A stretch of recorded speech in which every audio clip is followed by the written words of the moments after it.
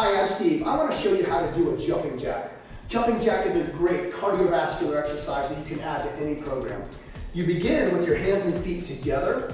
You're going to start by jumping out into what we call abduction of the arms and the legs, just moving them away from the body in a straight line. We're going to jump back in, landing as soft as possible.